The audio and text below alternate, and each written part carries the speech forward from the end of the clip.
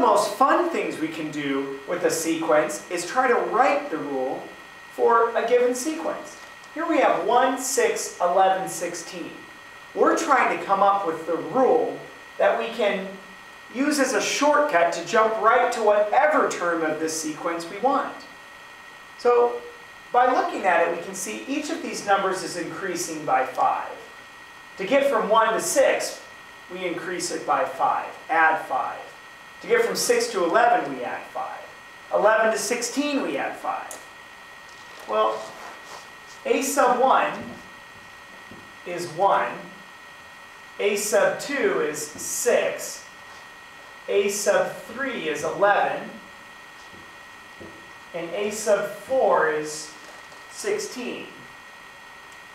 It's clear in this case to see what our domain is. 1, 2, 3, 4. And what we're trying to do is figure out what function will turn a 1, 2, 3, 4 into a 1, 6, 11, 16. Now we already know that they increase by 5 each time. So maybe a good place to start is just look at what 5n would do. So if we're saying that this sequence's rule is a sub n equals 5n, well then the first term would be a 5. And the second term would be a, let's plug in a 2 there, 10. Then we get a 15 and a 20. Well, these numbers are kind of close to these numbers, but it looks like they're each off by a 4. I mean, if we subtract 4 from 5, we'll get to the 1. If we subtract 4 from 10, we'll get to the 6. So I think we can adjust our rule by simply subtracting 4. So let's test that rule and see if it works. If I plug in a 1 here, will I get 1? Well, 5 times 1 is 5, minus 4, 1. All right, it works there. Let's try it for the fourth term. If I plug in a 4, I get 5 times 4, which is 20.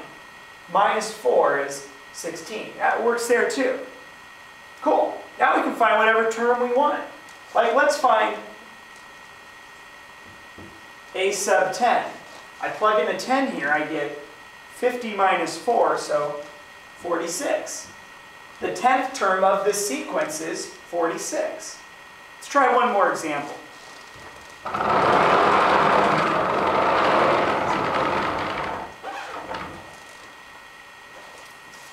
Now here we have a sequence with fractions in it.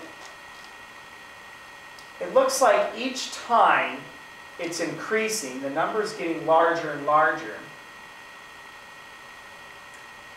It looks like each time we're adding one quarter. To get from one quarter to one half, we add a quarter. Add another quarter to three quarters, then we get all the way to one, and then to five quarters, or five fourths. It might be easier if we represent all of these with the same denominator. Let's, let's rewrite these with a 4 in the denominator.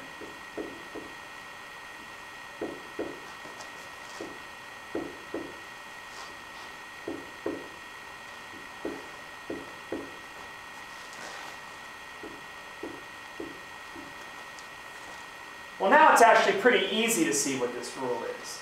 We have we can find a sub n by plugging in n in the numerator and keeping the denominator as 4. So what would the 12th term of this sequence be? Well, a sub 12 would be 12 over 4, which when we divide 12 by 4, we just get 3. So the 12th term in this sequence is 3.